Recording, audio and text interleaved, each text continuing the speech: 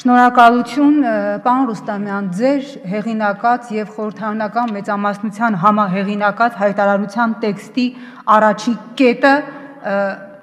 վկայակոչում է անթույլատրելի եւ դատապարտելի եմ համարում մարդ, համարում մարդկանց ազատ արտահայտվելու իրավունքը բռնությամբ լրացնելու ցանկացած փորձ։ Ոստի կոչ եմ անում խորհրդարանական մեծամասնությանը եւ հարգարժան նիստը նախագահողներին, եթե համաձայն չեն որևէ ելույթ ունեցողի որևէ մտքի հետ, իրենք ունեն այս ամբիոնից օգտվելու հնարավորություն եւ փորձ չանեն չհամարձակվեն անգամ փորձ անելու, լրացնելու որևէ մեկի ազատ խոսքի իրավունքը, որտեղ դուք մի քանի րոպե հետո քվեարկելու եւ ընդունելու եք այս հայտարարության տեքստը, որի բոլոր կետերի հետ իբր համաձայն է խորհրդարանական մեծամասնությունը եւ այսպես 3-4 քաղաքական ուժեր նախաձեռնեցին արտահերթ նիստ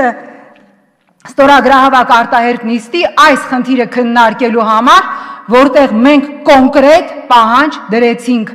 պաշտոնանք անել ոստիկանության զորքերի հրամանատար փոխոստիկանապետ Լևոն Երանոսյանին, որովհետև տվյալ գործչի հայտարարությունները մեկ բանի մասին են վկայում, որ նա ուղղակիորեն ինքը հրաապարակավ հայտարարեց, որ ընդունում է եւ պատասխանատվությունը իր մեղսակցությունը տեղի ունեցածին, բայց խորհրդարանական մեծամասնությունը մերժեց մեր այդ նախաձեռնությունը բոյկոտելով քվորումը, որովհետև իրենց ծրագրերի մեջ չեր մտնում կոնկրետ հստակ պատասխանատվություն տեղի ունեցածի մասին։ Ընդհանրապես այսօր հravirվեց նիստ Ինչի համար, որովհետև կա նաև այո, միջազգային հանրության բավականին բացական արձագանքը տեղի ունեցածին եւ անհրաժեշտ էր այսօր կազմակերպել այս իմիտացիոն գործընթացը, ընդունել կներեք ձևակերպման համար իմ գնահատմամբ ոչ բռնությանը երրորդ դասարանի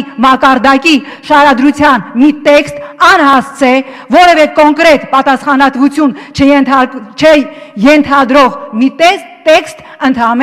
ազգային ժողովի եւ երկրի, ինչպես դուք եք նշում, միջազգային վարկն ու ազգային միասնությունը խաթարող իմիջը փրկելու համար բնականաբար Բարգավաճ Հայաստանը չի կարող նման իմիտացիաներին մասնակցել եւ այն դաստիարակչական նկատողությունը իդեպ որ տրվեց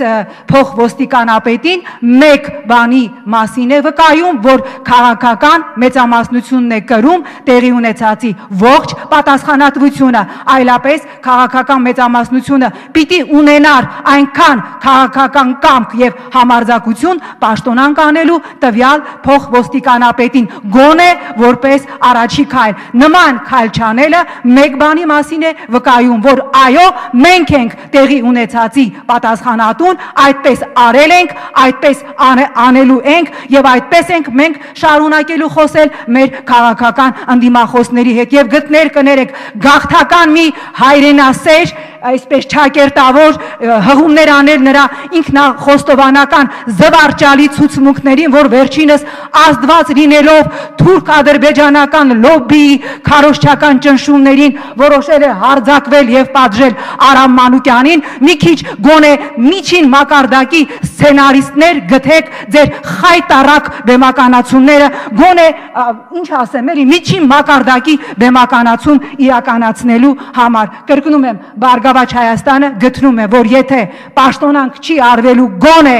փոխոստիկանապետը, որը իր հայտարարությամբ վկայում է ինքնա հաստատում է, որ ինքը այո ասում է, որ ես եմ եւ մենք ենք տեղի ունեցածի պատասխանատուն, այս ամենը շոու է, այս ամենը իմիտացիա է։ Դեպ ես հատուկ նորից թերթեցի ոստիկանության մասին օրենքը եւ ոստիկան առնչվող ոստիկանության առնչվող կից օրենքները, որևէ տեղ ես չհանդիպեցի դրույթի, որը ոստիկանության ոստիկանության բարձրաստիճան պաշտոնյայի կարող է իրավունք տալ ասելու, որ թուրի պես ակա ականջները կփոկեմ։ Եթե ես բաց եմ թողել նման դրույթ ոստիկանության մասին օրենքում, խնդրում եմ վկայակոչեք, որ ես սխալվում եմ եւ բարձրաստիճան ոստիկանը կարող է իրեն թույլ տալ նման այդ հայտարարություններ եւ դրա համար արժանանալ ընդհանրապես շատ թեթև դասիրակչական նկատողության կրկնում եմ պատասխանատվությունը քաղաքական մեծամասնությանն է բայց մեկ բան եմ ուզում հիշեցնել յուրաքանչյուր ուժ ունի իր հակաուժը դա նյուտոնի երրորդ օրենքն է շնորհակալ եմ